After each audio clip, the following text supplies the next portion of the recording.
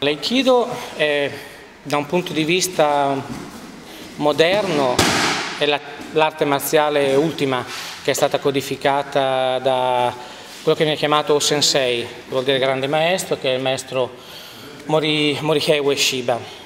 Tra le arti marziali forse è la più complessa, è molto sofisticata. Eh, nel senso che c'è un uso del proprio corpo, eh, delle energie della forza eh, di se stessi e dell'altro, il lavoro di relazione, eh, che le stesse leve sono effettivamente molto complesse, bisogna essere sinceri.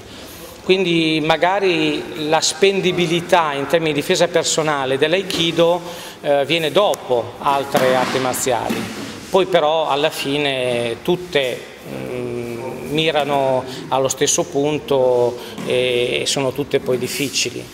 Tutte le arti marziali non sono nate per l'autodifesa, quindi praticarle solo a quest'unico scopo sinceramente è assai un impoverimento.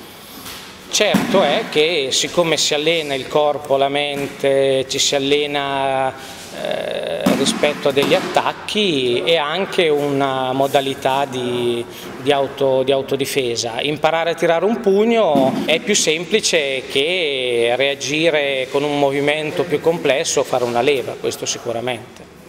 Devo dire che le arti marziali fondamentalmente non nascono in Giappone, le arti marziali nascono più in Cina filosoficamente addirittura in India. Poi c'è una grossa elaborazione ancora nell'Ottocento in Cina e poi sono state trasferite in Giappone. Il Giappone ha avuto l'abilità, ha avuto uomini che sono stati capaci di divulgarle e possiamo anche dire di commercializzarle, più magari rispetto ad altre, ad altre nazioni. Certo è che comunque un'arte marziale eh, nasce in un contesto eh, che è quello abbastanza, potremmo dire, medievale da un punto di vista culturale. Quindi gli aspetti eh, non solo spirituali ma anche più dire, banali del, dell'etichetta, del, del, sono, sono, molto importanti. Eh, alcune discipline ancora portano tracce molto forti di questo, di questo aspetto. Per molta parte questo si è perso, ma si è perso in Occidente come si è perso in Oriente. Non pensiamo che se andiamo in Giappone vediamo praticare le arti marziali come era eh, prima della seconda guerra mondiale o ancora prima.